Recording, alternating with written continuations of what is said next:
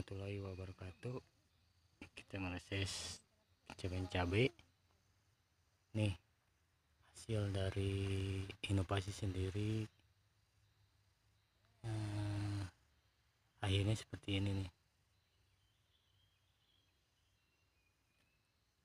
Hmm. ini pengembangannya pakai nutrisi alami